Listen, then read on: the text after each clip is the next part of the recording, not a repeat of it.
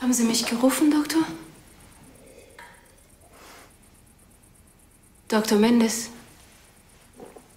Bitte, Entschuldigung, ich war gerade ganz woanders.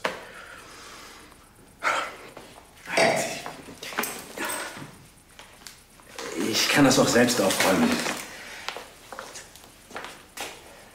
Geht's Ihnen nicht gut? Nein, nein, alles okay.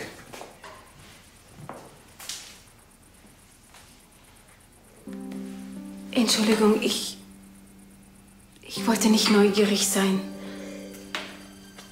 Aber ich sehe manchmal Dinge.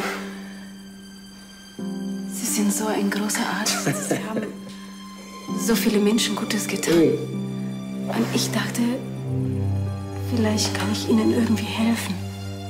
Ja, ist schon gut. Ich hätte nicht fragen sollen. Sie müssen mich für eine schrecklich neugierige Person halten. Mir geht's wirklich nicht besonders gut.